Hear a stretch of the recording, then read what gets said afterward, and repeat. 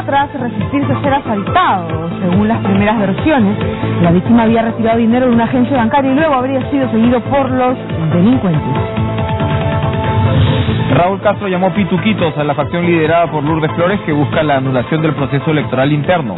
Por su parte, Lourdes Flores respondió diciendo que ningún sinvergüenza manchará el PP. Grupo de jóvenes universitarios marchó en el centro de Lima contra el proyecto de ley que amplía mandato de rectores y vicerrectores y que va en contra de la nueva ley universitaria. Finalmente en el Congreso el debate de la norma se postergó.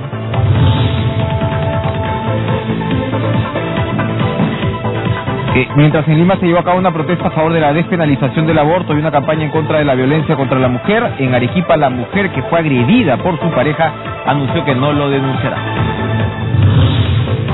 Tras la goleada en el clásico español, el Real Madrid volvió a jugar a Champions. El club blanco derrotó a Shakhtar Donetsk de Ucrania por cuatro goles a tres.